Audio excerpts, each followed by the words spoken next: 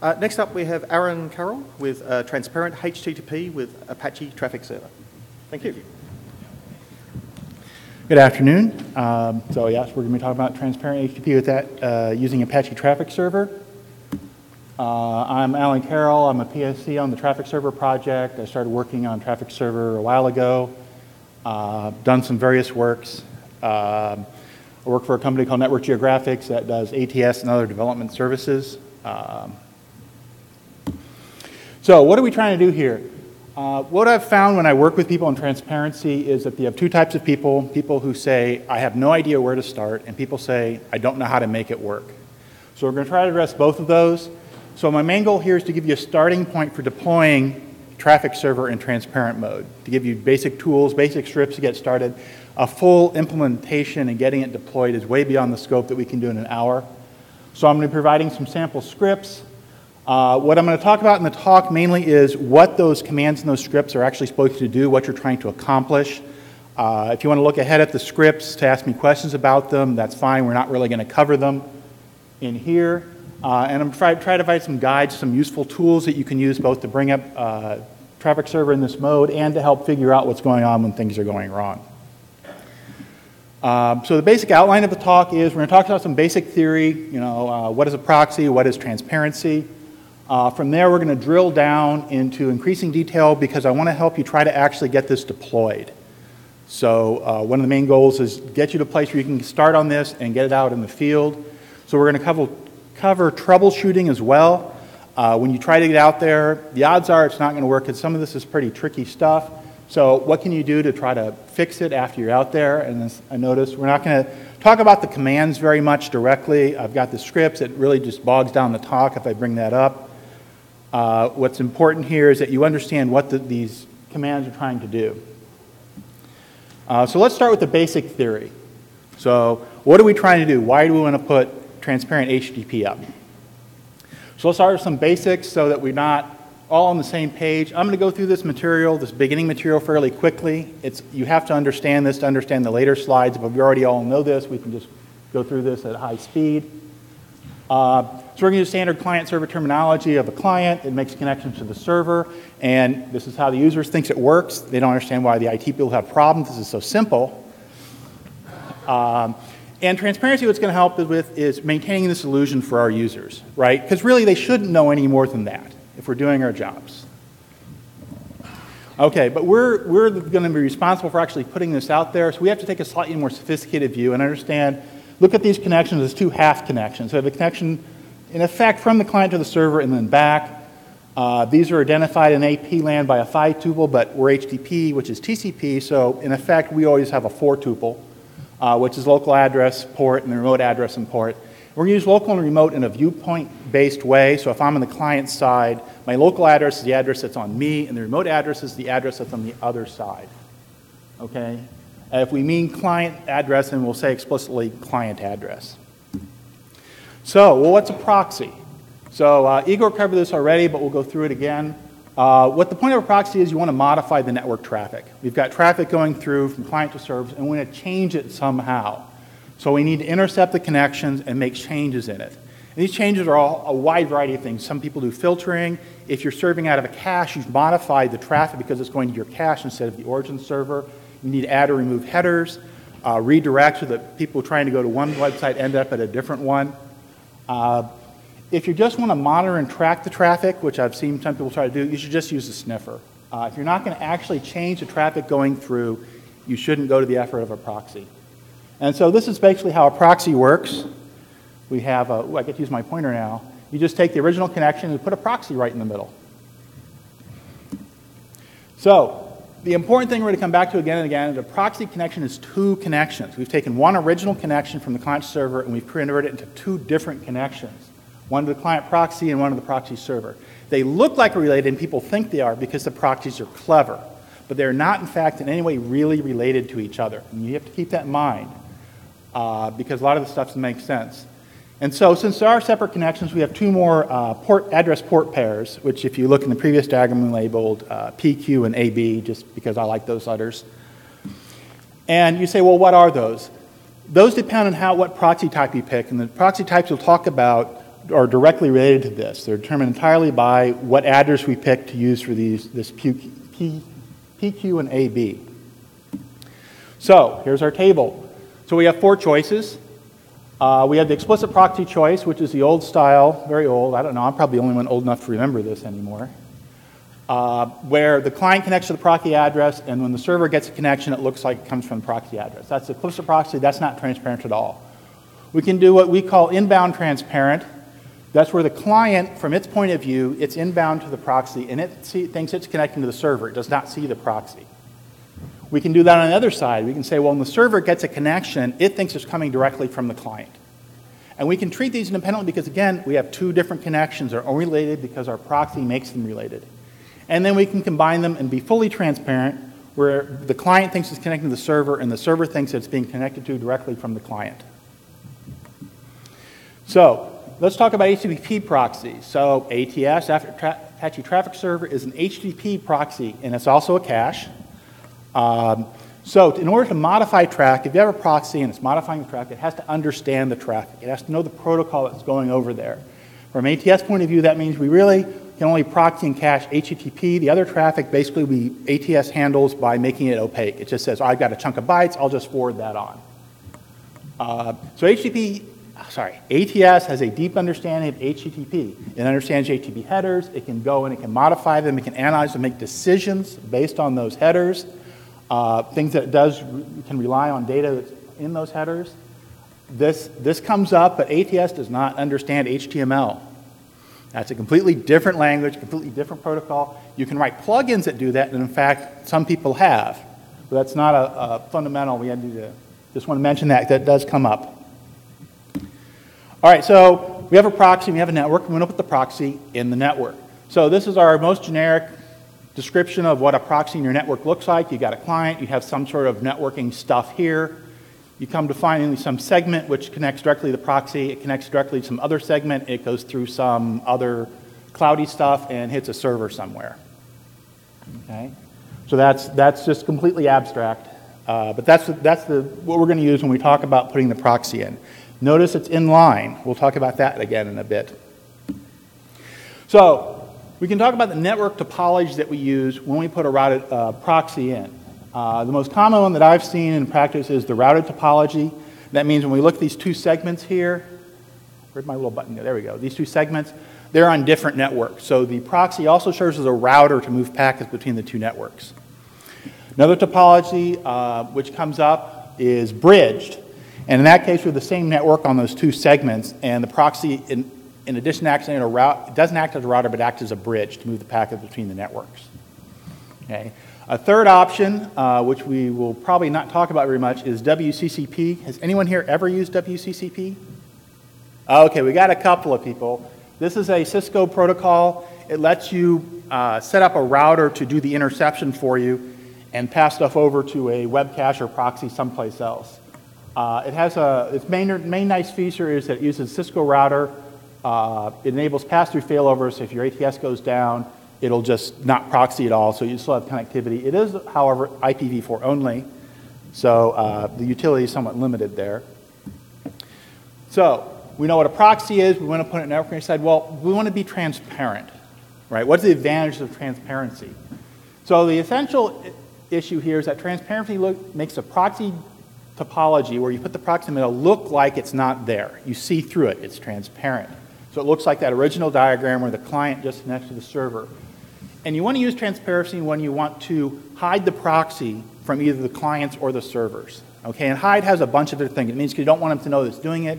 It's because you don't want them to have to reconfigure the client, right? Uh, which is actually probably the bigger reason. So if they don't own the proxy there, they don't have to reconfigure. You don't have to tweak their browser data or they can, uh, or anything like that. Um, it can sometimes be handy to hide it from the server as well. So these are the two questions you need to ask when you're saying, I want to be transparent. Why do I want to be transparent? Who do I want to hide it from? And based on that, we can pick one of our four types. So here's our chart again. And now we've added our hidden stuff to say which type. So if you're an explicit proxy, it's not hidden at all. Inbound transparent hides from the clients, outbound from the servers, and fully transparent hides from both sides. So you decide what you want the uh, your network to look like once you put the proxy in and make your decision based on that. And ATS, of course, supports all these modes. Um, so let's go through a few example use cases so you can get some idea of uh, why you'd want to do these. So we've talked about the explicit proxy. Uh, pretty much no one really uses this anymore. This was done initially because we didn't have transparency. It was the best you could do. Um, now we can do a lot better. Uh, one example, if outbound transparent is for a CDN. So in this case, the proxy is close to the origin servers. And what you want to do is the, uh, you, want it, you want the clients to connect to the proxy address because you don't want them connecting directly to your, to your origin servers. You want them to go through the proxy. But you want the servers to think that they're talking directly to the clients. So that you don't have to, for instance, manipulate HTTP headers so that the servers know which address the client's really coming from. So that's outbound transparent. The servers don't see the proxy, right? Only the clients do. Uh, some, you can also use this, for instance, to put your servers on non-routable addresses or IPv6 when your outside network is IPv4 because the, the clients can't see the actual servers, they see the proxy. Uh, inbound transparent, this is not a very common use case. There's a few, uh, few uses of this. Main one is you want to hide your internal addresses behind a proxy. So you're a corporation, you've got a network, you don't want people seeing what addresses on your network, but you don't want to have to reconfigure all the clients in your corporate net. So you can make inbound transparent. The clients don't see the proxy. They just connect out to the servers as just as they do without the proxy. But anyone on the other side, the origin servers outside your corporate net, will see the proxy address, not your client address. Uh, if, you just, if that's the only thing you want to do, then you'd use NAT. You do, you'd use inbound transparent when you want to do that, and you also want to uh, modify the traffic. So you want to do caching and you want to do that. The most common case probably is fully transparent. The proxy isn't visible to client or servers. Uh, this means you don't have any, need any changes on the client side or the server side. Uh, this is the most common corporate use where the corporation decides we need a proxy.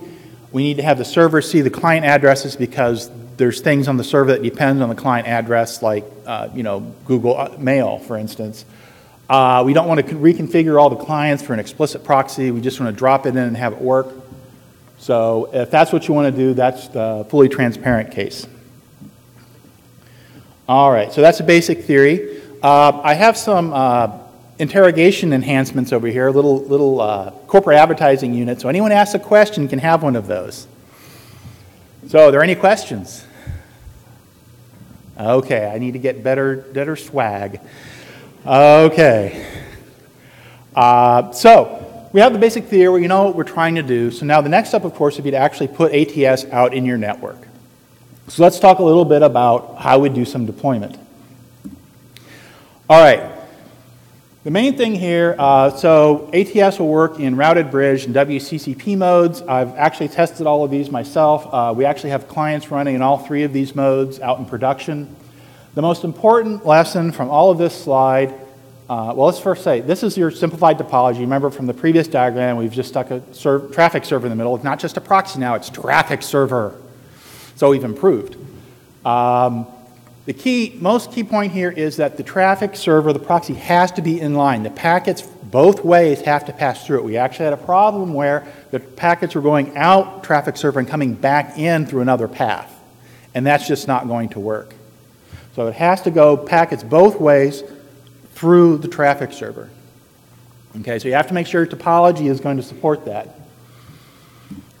Uh, now, we said ATS works in all these different modes, and that's so that you can adapt traffic server to your network. So you need to look at your network, decide where you can have a traffic server, decide what topology works best there, and then you can adapt traffic server to suit that. Okay, so don't start with traffic server and say, oh, I think I want to go bridge, I want to go routed. Look at your network. Think what, how can I fit into my network? ATS will adapt to you. So none of these is better, right? They're just more or less appropriate for your network. So I want to emphasize that. That's why we have all these different capabilities, not just to confuse you and make you hire consultants like me, uh, but to help you uh, make it work in your network. So let's talk about some generic deployment issues that are going to come up, no matter how you deploy it. So your normal packet flow is through the ATS box. We talked about that. What we're going to do is so all the traffic is going to pass through the ATS box. And we need to divert certain of those flows up to ATS while the rest go ahead and pass through. So for instance, pings or telnet will keep going on through the box as if ATS isn't there. What we're going to do is divert those flows that we want to modify, because that's the point of the proxy is changing traffic flows. So what we're going to do is we use IP tables and EB tables to mark the packets to say which ones are of interest to us for intercepting. Uh, we use routing, IP tables and routing to put those, reroute those packets so instead of going through as they normally would, they come up to ATS. We configure ATS to grab those packets and do the, uh, work with them, create the two connections out of one, and do any modifications we want. And there's a few tweaks we're going to have to do on the host operating system to make it work as well. So again, there's uh, appendices on the slides. The slides are out, um, out on the network, uh, and other copies are around. You can look through those to see how it is. We're going to go through some more detail on this. Uh, okay, so here's the simplified Linux packet handling that we're run on top of. And this is in fact simplified. There are some pieces that are elided out of this. Uh, but now that I've scared you, we're going we're gonna simplify this and really look at only the things that we need for traffic server. But I want you to understand that we're just touching the surface when we work with traffic server to do this. We are only scratching the surface of what's actually going on under the hood. Okay, so that's why there's so much scope for going wrong. You can go get all sorts of different places here. So you don't really need to know that. You just need to know uh, it's out there. So the main feature we're going to use is called tproxy, which is short for transparent proxy. It was put into Linux specifically to support this kind of operation. Um, and what it essentially does is lets you create a socket on the local box that's bound to a foreign address, an address that is not normally associated with the host. Uh, and it, you can access it both through IP tables and socket options. Uh, we'll talk about that in a little bit. And it should be present in all my, uh, modern Linux kernels. So you shouldn't, used to, when we first started working this, you sometimes had to patch the kernel to get this. Uh, you also need to build ATS. Uh, if things work correctly and you have a modern Linux, transparency should just be turned on. Uh, there's some fancy stuff here if you have old kernels and want to fiddle with it, but we don't really need to talk about that. Uh, need kernel, if you're more recent than this, you should be okay. This is the one gotcha, gotcha that comes up most commonly when people can't build. Uh, the transparency feature requires also POSIX capabilities, which are provided by libcapdevel. Well, actually provided by libcap, but you need libcapdevel to build with it. Uh, we'll talk about why that is later because, well, transparency is a privileged operation, so uh, we have to do that. So if you can't build, you'll get an error message. If that's the problem, you'll get a nice error message saying, I didn't turn on transparency because I didn't have POSIX capabilities. When it says that, install that package. It's, some distros have it and some don't. All right, so we're going to get ready to deploy. Uh, the more you sweat pre-deployment, the less you'll, you'll scream while you're actually deploying. So I recommend uh, prepping. So some of the things you need to prep for, you decide how you're going to set up ATS. So what type of transparency you're going to use. We're going to use routed, bridge, WCCP. You need to enumerate the server intercept ports. This is, we talked about you're going to divert flows. You want to say, well, what flows to the origin servers out there do I want to, to modify? Which ones do I want to proxy? Pick those ports. And those are the ports on the servers, the origin servers outside. And that's important to remember because we're going to talk about a bunch of different ports here. We want to be very clear which ones you're talking about. Those are the services out there. So if you're doing HTTP, it'd be port 80. Uh, we're going to pick a firewall mark. We'll talk about that more later. Uh, this is part of the IP tables setup. Uh, you need to select your inbound and outbound interfaces. This requires you to understand which interfaces face the client, which interfaces face the servers. And we have, in fact, had some really nasty problems. We eventually discovered, oh, we had our, our interfaces reversed. They went the other way than we thought. So you want to think carefully about that and make sure you know which interfaces are on the client side, which are on the outside. Uh, ATS has to sit on a port. That's called the ATS proxy port. Uh, you need to pick which one that. And this is, I'm going to hit this again and again and again because this is so important. Verify your clients can connect to your servers before you put ATS out there. Okay, we're going to do two, we're going to be doing two very complex things. One is setting up all the internal operating system stuff, the IP tables, the EB tables, and all of that, the routing, the bridging, to make it work. And then we're going to put an ATS on top of that. Make sure the bottom half works before you start messing with ATS. Uh, because uh, the getting the bridge and router stuff working is not the simplest task in the world. Now here's my fun, fun chart. I had fun with this chart. This is our generic setup. Um, here we have a client, it comes in through some port, it goes into EB tables and IP tables.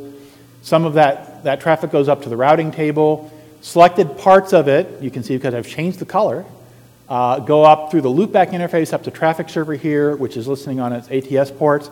They have these boxes here, so if you want to copy this, and when you're doing pre-deployment, fill in the numbers and the data, uh, you can do that so that you can refer back to this later when things go wrong and someone says, oh, well, what's your, what are your client interfaces? You can look at your chart and say, yes, this is one. So we're going we're gonna keep this in mind. I may just pop back to this, uh, but this is basically what it looks like when you're set up. Um, so some cautions, things to keep in mind. Uh, it is in line, so other traffic is going to go through it, so make sure that our traffic is going through it. Uh, the firewall mark and the ATS proxy port you pick, pick are arbitrary and local. So that you have to pick something, but it doesn't really matter much what you pick. You want to pick it to avoid colliding with other things on your box. So if you're writing something at port 8080, don't use that for the ATS proxy port. Uh, so now we're going to talk about the various layers you're going to go through. We'll start with EB tables. Has anyone ever played with EB tables? Well, oh, we got two people who play with EB tables. So this is layer two. Um, and all we really need this for, for a traffic server, is to keep packets from zipping on through on layer two so we can get them up into the routing table and do routing type stuff with them. Uh, other than that, everything happens exactly like the other cases. Uh, the big one here is IP tables. This is fun. I'm sure all of you have played with IP tables, right? Yes. So lots of fun stuff goes on here. This is where we set a firewall mark, and that's going to be used later by routing. Uh, so the firewall marker is 32 bits wide. ATS only needs one bit. If you don't do anything else, you might as well just use the whole thing. And most of the environments I've deployed, there is in fact other stuff going on. Uh, using IP tables, so we had to be careful so you can just pick one bit out of the 32 bits to make it work. Marking is based on the server port again, not on the ATS proxy port, on the server port that you're going to, so like port 80, and the host interface. That's why we have to be careful about which is the inbound interface and which is the outbound interface, because that's going to show up again here in the IP tables. So what we do for things that are coming inbound that we want to be transparent, we mark them with tproxy, which is required so the ATS can accept that connection even though it's going to an address that's not on the box. Uh, we redirect the traffic up to the ATS proxy port. And this is all for IPv4. You get to do it all again for IP6, IPv6, using IP6 tables if you want to support IPv6. Okay. So, a big word of warning here. Oh, I got to accelerate here. Uh, IP tables used for a whole lot of things on Linux. So this is the place where you can really collide with other stuff on the box. So all the firewalling, if your Linux is doing any sort of firewalling, it's doing that by using IP tables. So you've got to be very careful about colliding. Uh, so lots of potential cross interference. I, ATS itself only uses the mangle table. I love product, things that have a table called a mangle. Uh, fires confidence. Uh, so you need that. Another thing to watch out for, that's very careful, is by default, if you just boot up install Linux, most distros will not allow the traffic through that ATS needs. So you're probably going to have to modify the filter table either directly or use the firewalling uh, GUI interface to change that. That's another reason to test client to server connectivity before you put ATS on the box. Okay, this is a big hangup and it can be really frustrating to try and figure out why it's not happening because you look at the mangle table and it's right, but your filter table is stopping all the traffic. Uh, we also use the routing table. We use policy routing to force the packets for the ATS, the, the, we're ATS up to ATS. Uh, that's what the firewall mark is for. So uh, we put a table on the side. This is actually in the simple part. We put an extra routing table on the side. So if it's got the mark, use this routing table instead. So it interferes less with uh, your existing routing. So that's usually pretty easy to get in. Uh, and we have to configure ATS. Uh, in ATS, you create your proxy ports. You mark them as transparent in the appropriate way. So if you're inbound transparent, you mark them inbound transparent. Uh, the proxy port has to agree with the IP tables. We've embedded the proxy port in the IP tables command, so it has, you have to make sure it agrees when you configure ATS. Because you filled it out on the little chart, so you can just look there. Uh, the various transparency options that you use up an ATS, uh, ATS LAN, transparent in, transparent out, transparent full, which is really just transparent in and transparent out. There's a transparent pass-through now. We'll talk about that a little later. You want to be very careful about using any other options on transparent ports because they can easily conflict with transparency. Most of them just simply don't work. So like, for instance, SSL doesn't work. Uh, so you're pretty much just going to have those on the transparent ports. Now remember, this is per port. So if you have, you can have transparent inbound ports, transparent outbound ports, explicit proxy ports, SSL ports, all running on ATS at the same time in the same instance. Uh, so you don't have to commit to all of these. And in fact, I, I see that done sometimes where they both have explicit proxy and a transparent proxy. We have to configure the host operating system. This isn't too bad. Basically, you have to enable packet forwarding and you have to disable the reverse path check.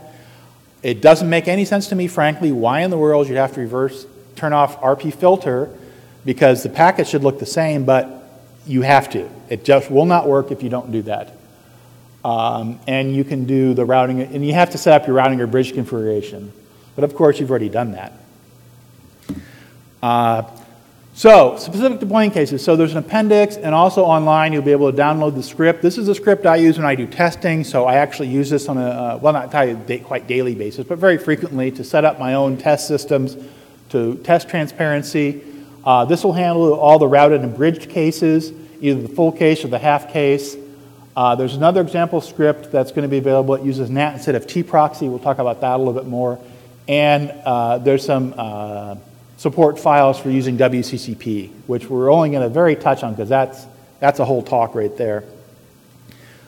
Oops, I went too fast. So actually, let's just talk very briefly about WCCP.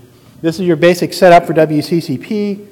You have a router, it diverts the packets down to ATS and goes out. The configuration here is really effect, almost identical to the routed case.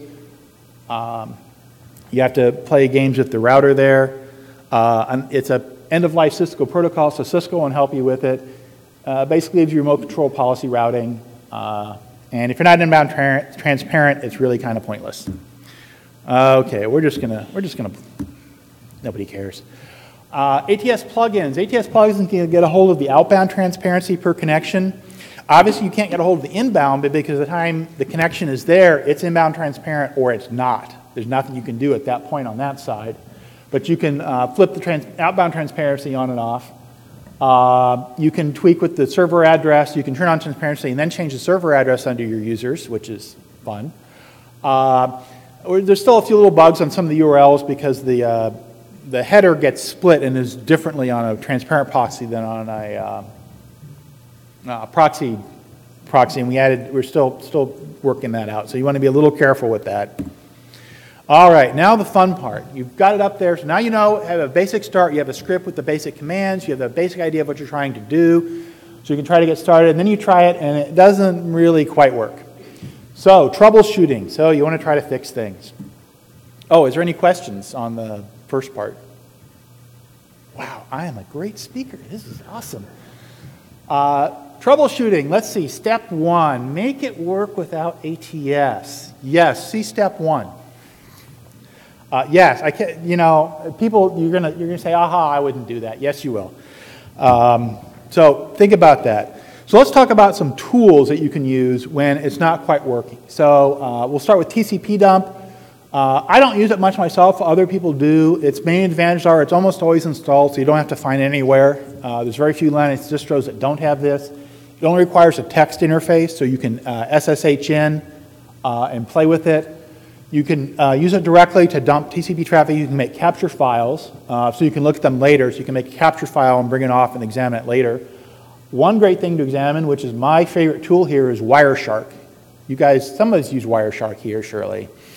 I love this tool. I could not never have made transparency work without this thing. Uh, if I use TCP dump, I use it to make capture files and look at it in Wireshark. It's wonderful. If you're doing any sort of TCP work or UDP work, and you want to see what's going on, Wireshark is just, it's awesome. Uh, so I strongly recommend that.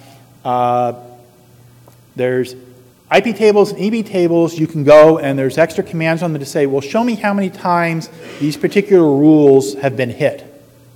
And this is really an excellent debugging tool. So you put the IP table rules in, and it doesn't look like they're working. You can actually IP tables, well, how often has that been hit? It'll tell you how many uh, total bytes have gone through and how many um, hits. And so you can look at that, run your test, and see if those numbers have changed and tell whether your rules are in fact actually working or not. Because otherwise, there's really no way to know. Um, so that's, those are in the man pages, not going to go through that. you just knowing it's there. I, I did quite a lot of debugging before someone told me about that, and I was like, I only had known earlier. Netstat, of course, this is really handy. This is actually the only netstat command I actually ever use. It just tells me all the TCP listening ports. So one of the things is, if I, I think I have ATS up and I think it's listening on this proxy port, but is it really? So, or shut it down and then look and see if there is something else on that port, right? If you want ATS on port 8080, shut down ATS, run this, and you see something on port 8080, there's your problem. Uh, so netstat. Uh, you can do a lot of troubleshooting with ATS logging. ATS has a very uh, excellent logging system to generate a lot of debug messages. Um, you need to turn on, you go into the records.config file and you uh, flip that switch there to 1 from 0. That just makes it possible to get debugging tags, not by itself creating debugging tags, uh, any output. Which you have two ways to do it. If you're firing up traffic server directly from the command line, the actual traffic server process, you can use the dash T option and put tags in. If you want to do it from the records.config, there's the, the config string, you put a string, same format as the uh, T option. Uh, and so these are actually, this is actually a regular expression. So if you put host, it'll match host and it'll match host DB. And this will match tag 1, tag 2, or tag 1, 2, or tag 2, 1, because it has a little pipe there, which is an OR. So this can generate a lot of output. Uh, we'll talk about some of the more handy uh, tags when we go through our checklist. So, any other? No questions. All right. What?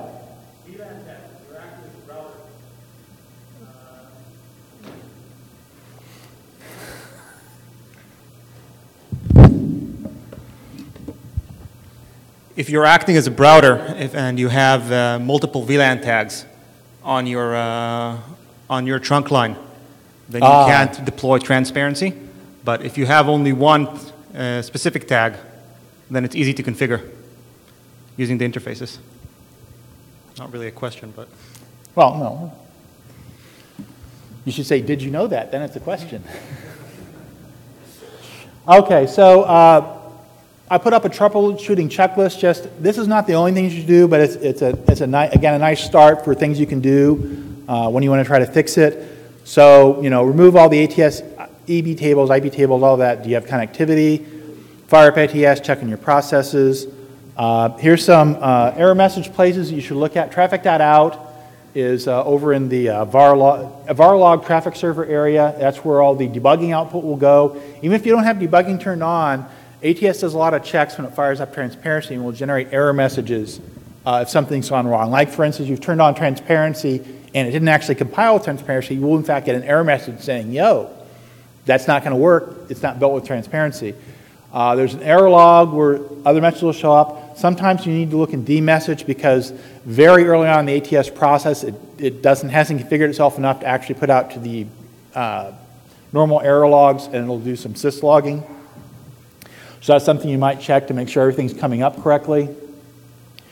Review your configuration. I know that sounds silly, but you know, just make sure, uh, check, you know, especially do cross checks on this.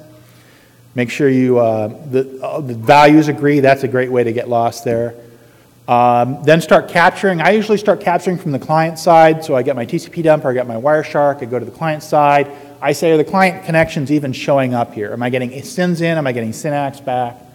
Am I seeing the actual HTTP connection requests come in? Uh, ATS is always going to live on the loopback because of the transparency issue. If you're transparent, it's going to be on the loopback. Uh, are you seeing the, the client SYN packets go up to the loopback? Is ATS even seeing the SYNs at all? Is it sending the SYN-ACKs back? Then look at the server side. Are you seeing any, any SYN SYN-ACKs coming out on that side? Are you seeing requests come out? You can check the ATS logs to see if it's recording connections. Um, that's actually kind of handy to do if it looks like it's working, but the proxying doesn't seem to be working. It might be that the connections are going straight through without hitting ATS at all. So you want to check the ATS logs in that case to say, well, does ATS actually see the connections? All right, some additional notes of things to watch out for. Be very careful using IP addresses to figure out where these packets are. Oop, ah, okay, thanks. All right, I'll speed up here. I'm going too slow. Um, because we're messing with the IP source and destination address, the whole point of transparency, when you look at those packets, you can no longer be sure where actually they came from. Okay? Because you have the exact same packet, the exact same uh, four tuple on both the client side and the source side. So you have to be a little careful. There's MAC addresses, these are handy. Uh, we're trying to figure out where these packets are actually originating. Uh, some of the tools will show you an IP ID as part of the tracing. They'll match that up for you so you can look at that and make sure you just be very careful when you at packets that you, you explicitly check which connection they're from because it can get very confusing. Uh, you just have to be, an easy way to get lost looking at stuff. All right, so we talked about this, so we talk about, won't talk about it again. Here's some useful tags. These are the ones I find most useful. The host DB and the DNS tags will let you see how ATS is trying to look up uh, origin servers. So you can see if ATS is seeing the connections that trying to find the origin servers. HTTP accept is on the inbound side. It tells you whether ATS is actually accepting connections. There's a tproxy tab, which just gives you some extra data about tproxy operations. And all this goes out to traffic.out. So there's a few other ones. You want to be a little careful. You want to avoid just the HTTP tag because that generates just unreal amounts of output. Because uh, it gives you every little thing that happens in every single HTTP transaction. You don't want to go there unless you really need to look into that. Whoops. WCCP troubleshooting, one person said don't, just, just replace it, but um, you can look at that. Uh, if you really want to talk to WCCP, bug me elsewhere. We don't really have time to deal with that.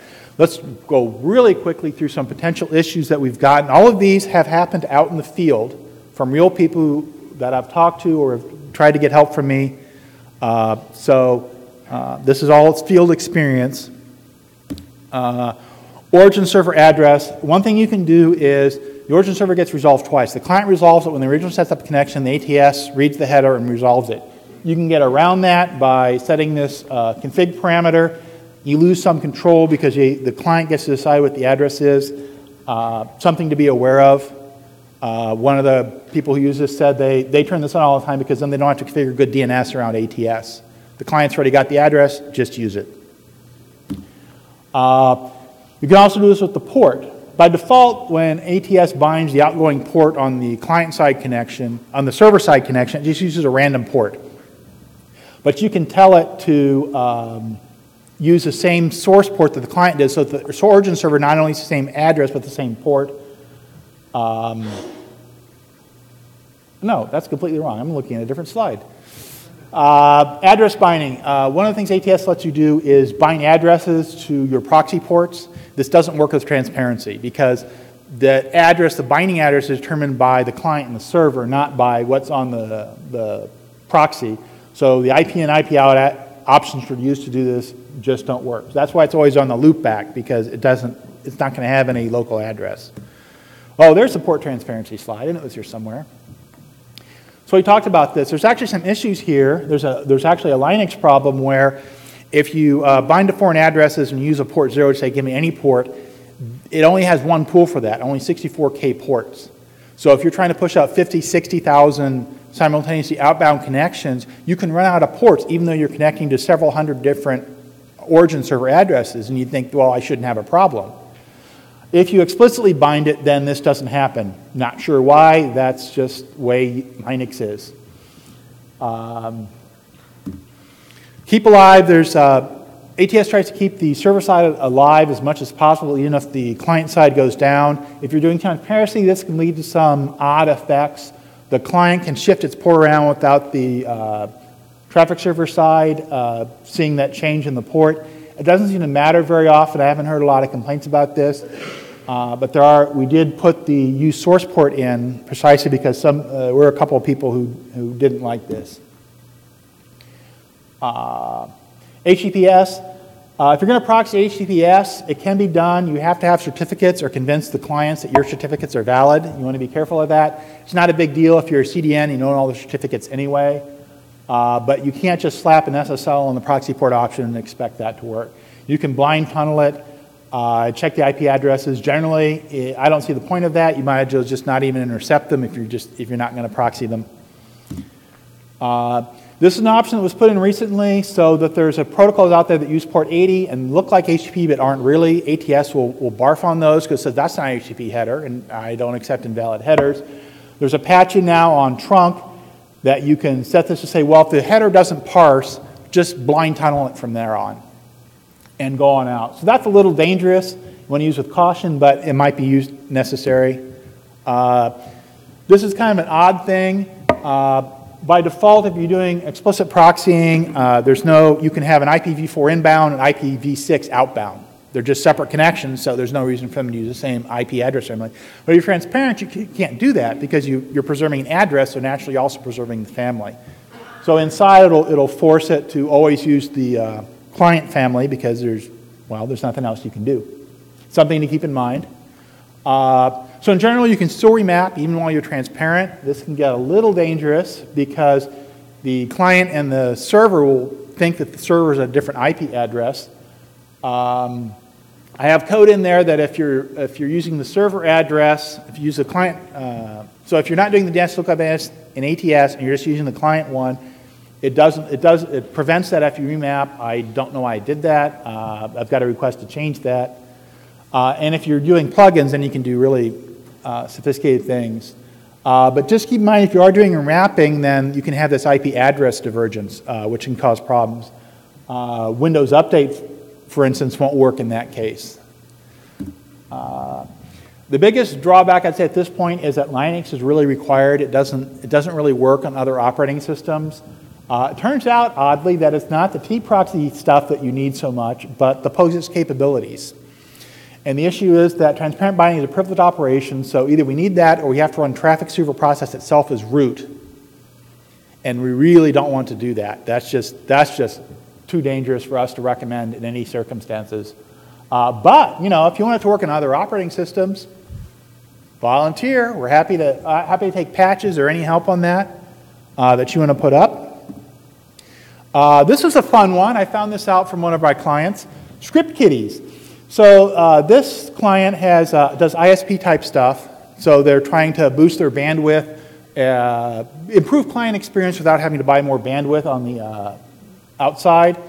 So, but if you have ATS up and you've captured intercepted port 80, then port 80 works for any outbound address, right? ATS has no way of knowing uh, that there's no server on the other side until after it's accepted connection. So the script kiddies out there trying to do port probing will find success on every single address they try. Now, yeah, this is script kiddies because the professionals will figure this out very quickly and move on. It's the, uh, it's the college students who think they're clever with some Perl stuff they downloaded that's the problem. Uh, it's not a big deal, something to keep uh, in mind. Um, if you see just all these massive port 80 things coming in with, that don't ever actually go anywhere. Okay, all right.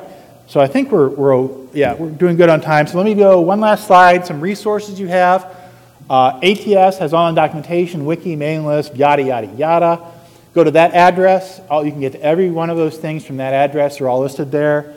Uh, I provide consulting services there. And we have a very large contingent, my peanut gallery, traffic server people here at the conference. That's a real bonus if you're actually here. There's a bunch of them there, and there's some more over here. We have like, what, 15, 16 traffic server developers, users, community members. Uh, meet them, greet them, buy them beer.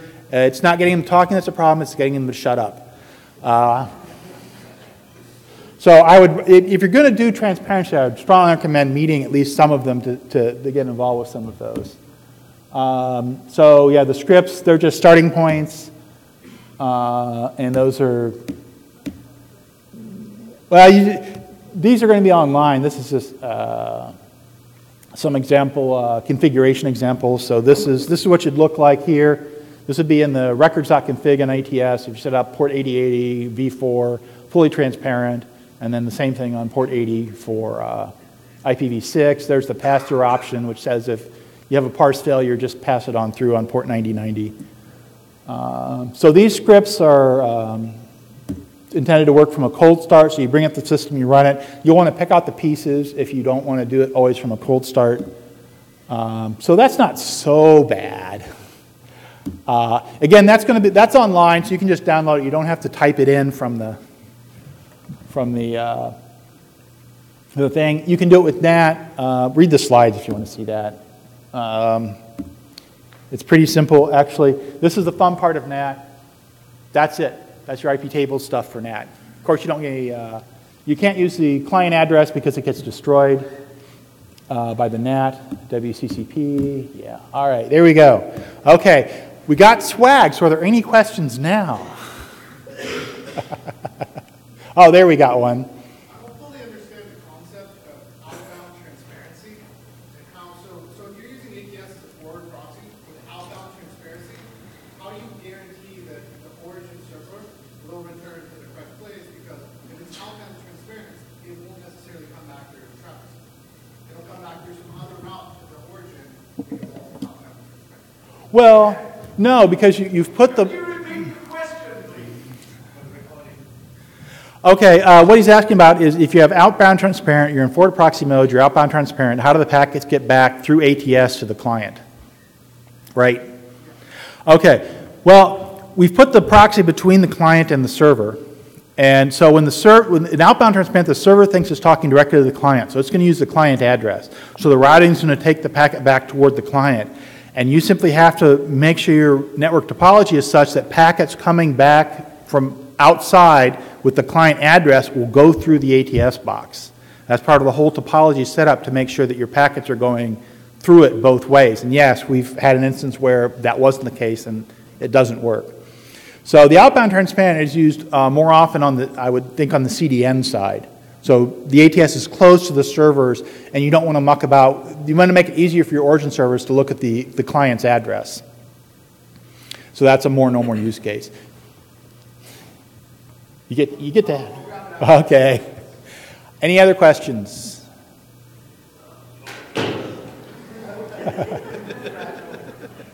I, I have a question. So about six months ago, uh, Cisco announced or, or made it official an, an update to the WCCP protocol. Is that official? Yes, Oh. it's on the IETF list, and it includes a uh,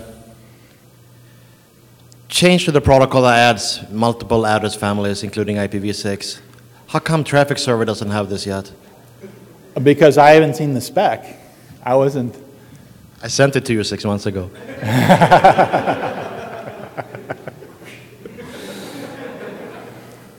The, uh, yeah, well, the real question is, is Cisco going to un-end of life it, though? They- They'll up the relationship spec, but they still won't support it. Because one of the problems with the end of life is that I can't actually get, there's parts of the protocol I had to packet level debug to make it work with transparency at all. Uh, because they wouldn't, it's not documented and they wouldn't tell me, no, that's end of life, go away. All right. Well, I guess I'll let you go then. Oh, do we have another question? Cluster, well, I think clustering works with transparency. Is Ming Zim here? Do you guys run transparent at all? I don't see any reason why it wouldn't work with clustering. I don't know if anyone's actually tried that. I I think uh, cluster is working in most uh, variants uh, and uh, the mm, release the mm, master tree. But if you want to run uh, for the WCCP, I'm not sure it will, it it will work for you. You may try it.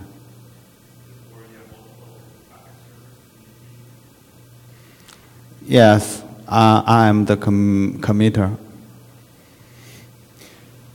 Yeah, it's kind of independent because that communication goes through different mechanisms than the, the client to server traffic.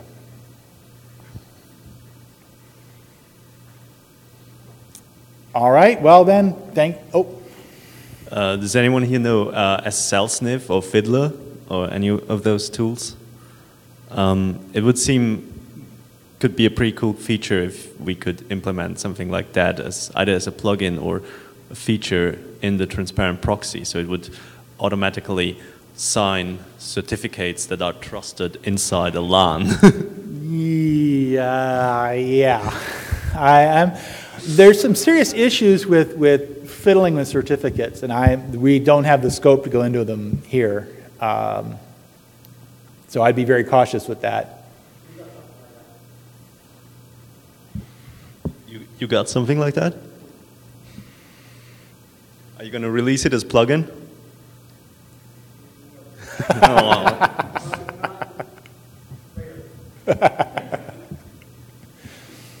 All right. Okay, well, thank you all for coming.